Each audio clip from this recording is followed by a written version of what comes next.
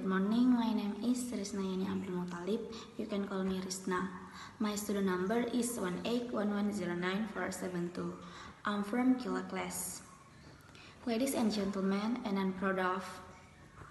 First of all, let's pray and thanks unto our God Allah Subhanahu wa Ta'ala, who has been giving us mercies and blessing, so we can attend together in this place without any trouble and obstacles.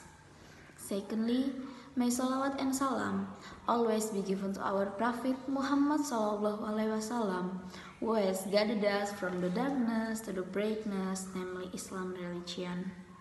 Thirdly, I don't forget to say thanks so much to the master of ceremony who has given me time to speak in front of you all. Well, my beloved brother and sister, now I would like to deliver my speech under the title COVID-19 Perfection. Ladies and gentlemen, we all know that the world today is in anxiety and difficulty as a result of the spread of the COVID pandemic 19. Hundreds of thousands of people are infected and of thousands of people are dying. Normal life does not go smoothly after a break in contact throughout the world. In this critical condition, we as a control individual each of us must bear the responsibility to play a role in fighting this epidemic, controlling it and protecting our family and ourselves from this danger.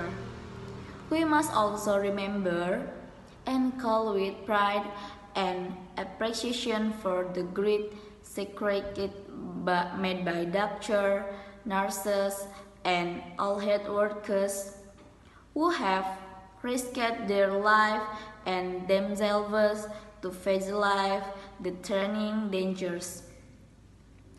Extraordinary efforts have also been made by government to surround this virus, giving hope the way we, that we will be able to defeat this outbreak and get rid of it. However, success in this battle is also very dependent our determination to continue to bear responsibility with a strong desire that does not stop.